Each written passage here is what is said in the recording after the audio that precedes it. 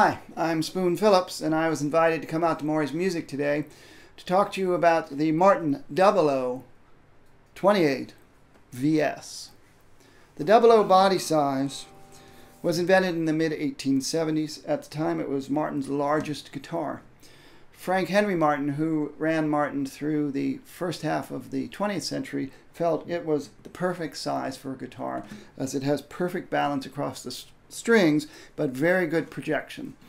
Uh, it's referred to as the grand concert size. This is the standard double O, meaning it has a 12 fret neck and that classic extended upper bout that increases the size in the sound chamber. From the vintage series, it has very good quality Indian rosewood, nicely quarter sawn for the back and sides. It has a very high quality Sitka spruce top very even grain, very tight along the long grain, and very nice cross silking all the way across. It has ebony for the fingerboard and bridge, an old-fashioned pyramid bridge, and a modified V-neck shape that's very comfortable all the way up the neck. It is made with one piece of solid mahogany.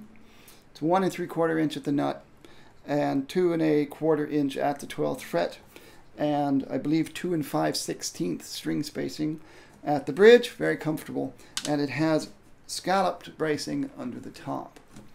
It is um, most typically known as a fingerstyle guitar, but it actually strums very well. And if you've ever heard the Bob Dylan record, Blood on the Tracks, you've heard a Martin Rosewood 12 fret double O, as that's what he used to record that record.